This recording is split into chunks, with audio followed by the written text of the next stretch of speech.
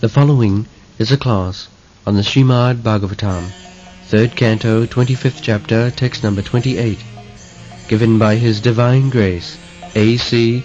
Bhaktivedanta Swami Prabhupada, recorded on November 28, 1974, in Bombay, India. On hearing the statement of the Lord, Devahuti inquired, What kind of devotional service is worth developing and practicing to help me easily and immediately attain to the service of your lotus feet?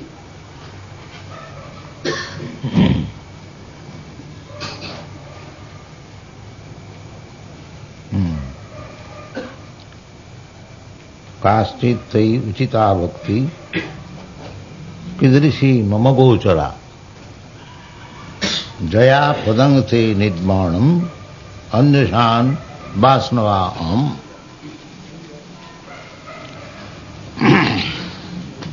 so it is the duty of the disciple disciple means everyone human human body one who has got human body अर्थात ब्रह्म जिज्ञासा this is the वेदांत सूत्र advice अथ अतः ब्रह्म जिज्ञासा this life human life is meant for inquiry what is that inquiry? Brahma inquiry about the absolute truth. So, the Vedic injunction is that if you are inquisitive about self-realization, Brahma realization, then you should approach a guru. Therefore, here Devahuti is accepting his son, the exalted son, incarnation of God, Kapil Dev, inquiry from him. That is the Vaishnava process. Vaishnava process is not to speculate oneself. If one is actually inquisitive to know about the absolute truth, he must approach a bona fide spiritual master. Adu Gudvasram. The hmm. first business is to find out Guru. Guru Krishna Kripa Pai Bhakti Lata Bij. Chaitanya Mahaprabhu says. At the present moment, this is a mentality. Of course, they have got some bad experience. But the process is that you must go to a guru. That is Vedic injunction. Tasmat gurum prapaddeta. Tad vijnanatham sa gurumeva avigachet. Avigachet means must. There is no other alternative. Uh, in the Bhagavad Gita also it is said, Tad vidhi pranipatena pariprasnena sevaya. Upadakshanti tad jnanam jnanina tattvadarshina. If we actually are very serious to get out of the clutches of Maya, this repetition of birth, death, old age and disease, and get back our original spiritual life, uh, eternal life. Na hannati hannamane sarire. That is, that is our real identification. We do not die after the annihilation of this body. But you are so dull by the influence of Maya, we think that death is inevitable. No. Why death is inevitable? Death can be avoided. Birth can be avoided. Disease can be avoided. But we do not know, we have become so dull. Uh, we do not know how to overcome. We are busy temporary uh, inconveniences. The whole world is struggling. some temporary. The real business is attantika dukkha nirvitti. Ah, everyone is trying to minimize the miserable condition, but they are busy for temporary miserable condition. But the Vedic knowledge is how to uh, uh, mitigate the, the topmost miserable condition. That topmost miserable condition is the repetition of birth, death and old age. जन्म मृत्यु जरा व्याधि दुख दोषानुदर्शन अनुदर्शन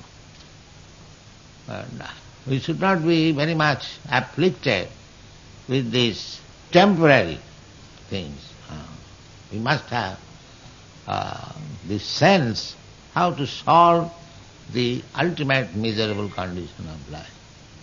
That tadvijnana. In order to know that science, sa gurumeva vigachet. If one is interested to know that science, then it is necessary to approach. Just like Arjuna was busy, uh, perturbed that he has to fight with his relative, the other side, and they will be killed. And he was presenting so many problems that if I kill my brothers, my uh, sister-in-laws will become widow and they will be polluted and there will be Varna Sankar generation, then the whole world will be hell. Huh? In this way he was thinking.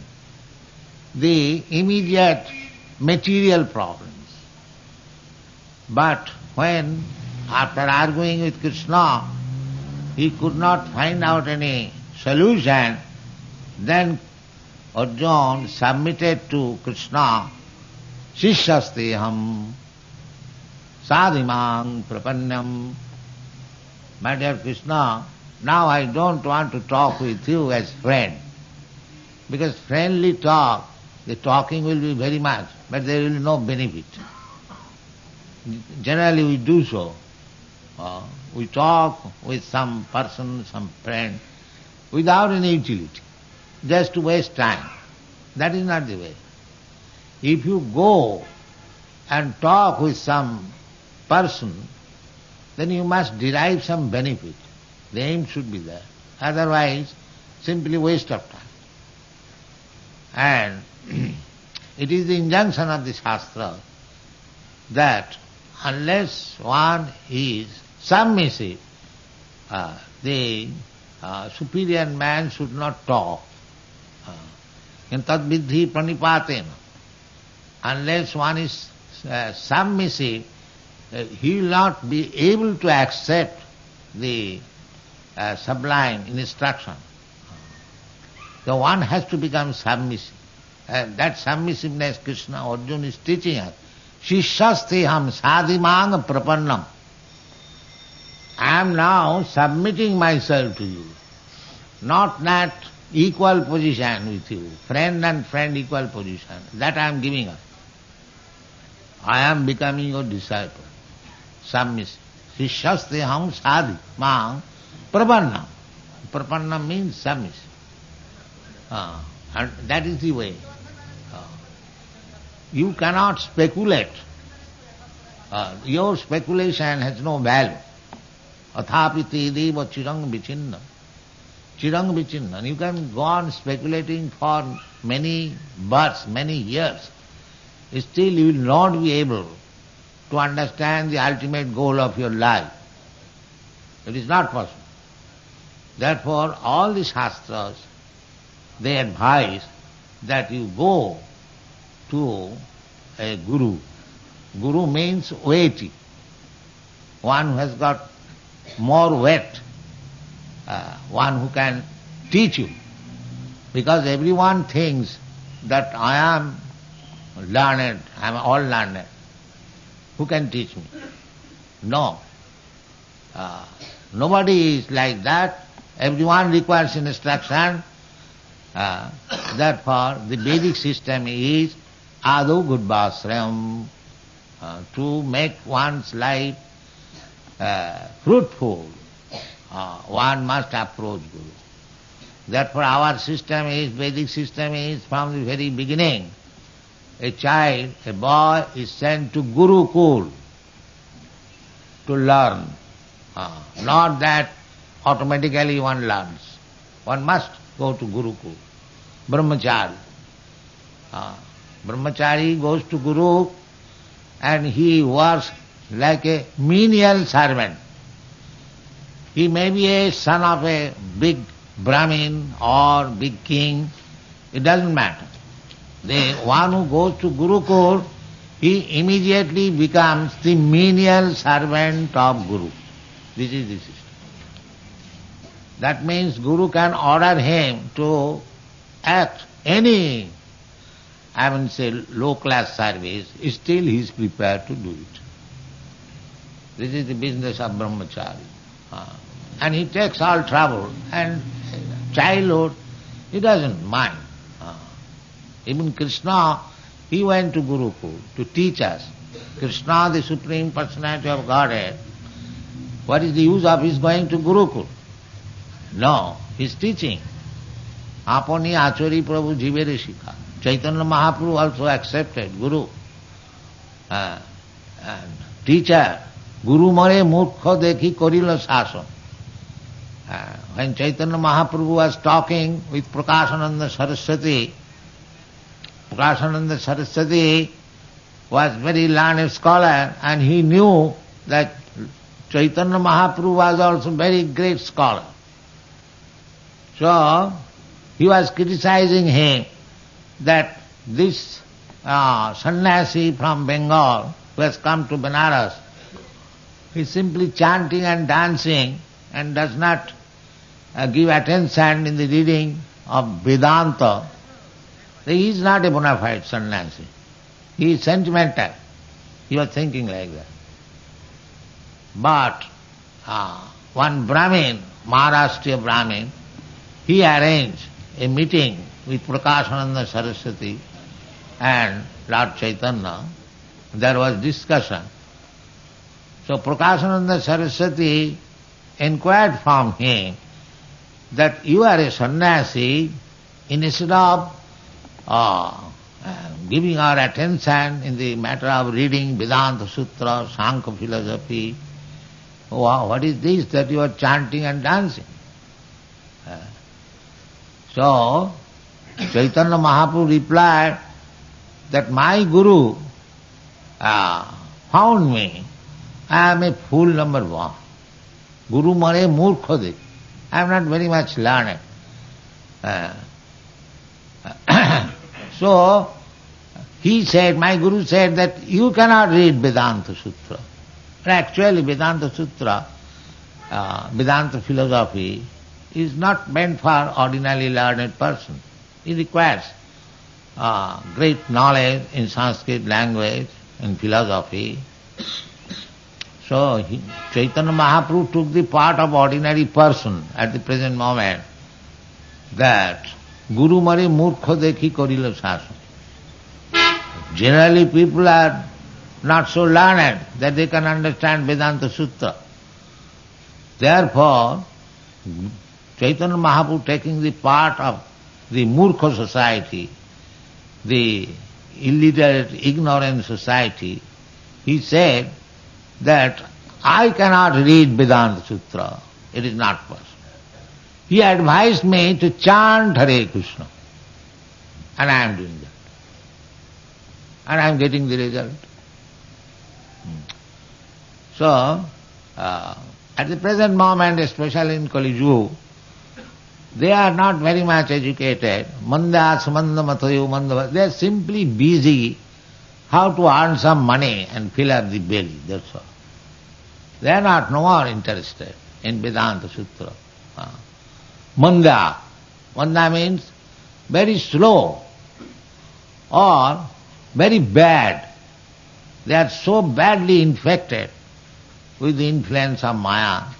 They do not care to understand that there is life after death and that life may be anything of this 8,400,000 forms of life and if I become one of them, if I become tree, if I become cat, if I become dog or insect, uh, or even human being, hmm, then uh, if I am in a very inconvenient condition, then they do not care to know.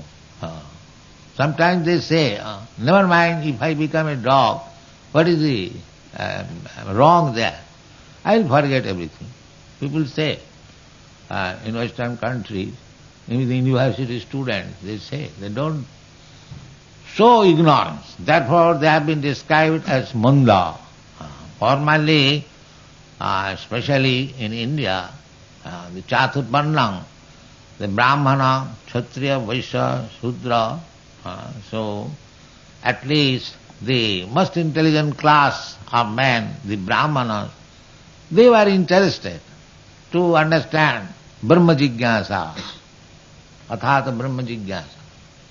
But at the present, moment, they are all Sudras. They are not interested about Brahma They are interested how to get more money, where the cinema, where what picture is going. They are interested in that. Not about Brahma. But uh, the human life is meant for that purpose. Therefore, we learn from Bhagavad Gita, Arjuna is personally teaching us. Uh, he is accepting Krishna as Guru. Uh, Shishyastiham. Krishna, now I become your disciple. Not that I remain as your friend. Friend to friend talk is not very serious. Now I want to talk with serious. You become my spiritual master, you teach me, and I will take your lesson. This should be the... It is not meant for only Arjuna. It is meant for everyone.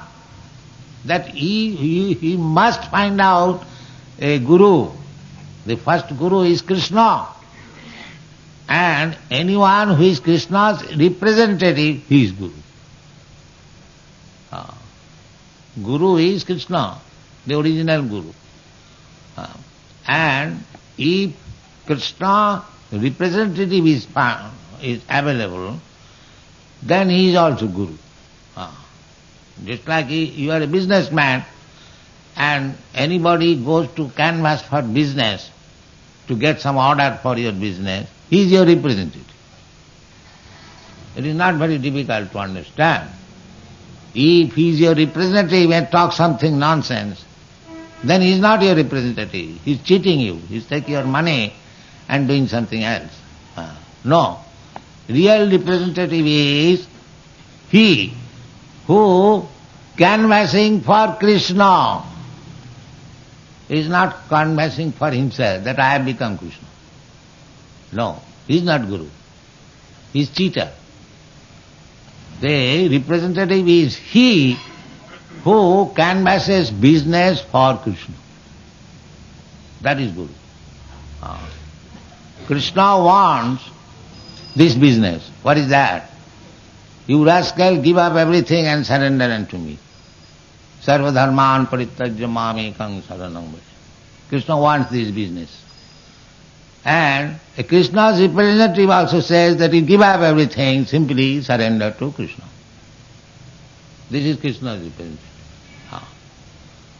Sometimes uh, we are very much eulogized, I have done a wonderful thing, but I have done as representative of Krishna. Same thing. I have told all these boys and girls nothing magic. I never showed any gold making magic. I simply said to them that here is Krishna, the Supreme Personality of Godhead, you surrender unto Him. That's all. Ask anything. I never said anything. So that is actually representative. Anyone can become Krishna's representative. Everyone. Especially Indians, they should become Krishna's representative. That is Chaitanya Mahaprabhu's mission. Ah, Bharat bhumite manusya janma haila ja Janma sarthak kari karo paropakar. Paropakar means the whole world does not know about the message of Krishna. Ah, therefore, it is the greatest welfare activity to carry this message and inform them. This is the work of Krishna's representative. And any Indian can do it, but they will not do it. They will take Bhagavad Gita and speak their hodgepodge. That's all. Ah. That is not Krishna's representative. Therefore it has not been successful. For the last 200 years, so many swamis and yogis went to foreign countries, but nobody spoke about Krishna. Simply hodgepodge. Therefore there was not a single person accepted this cult, Vedic culture. Uh, that is practical. So, uh, at Arjun, we are reading Bhagavad Gita, you can understand that Arjun is a friend. Why he is accepting Krishna as Guru? Why? He's a friend. He's talking equally, he's sitting equally, uh, friend and friend, sometimes talking nonsense. Krishna in the 11th chapter, he was begging Krishna, forgive me. As a friend, I have uh, misbehaved with you. Uh, a friend has got right that. Krishna did not mind for that. But uh, he knew that Krishna, although he is my friend, he is the Supreme Personality of Godhead. Therefore, he is the uh, proper person to become my Guru. Uh, and he said also that the perplexity which I have been put into now in this battlefield, this cannot be solved by anyone else except yourself. Uh, that he said also. So, this is instruction we get from Bhagavad Gita.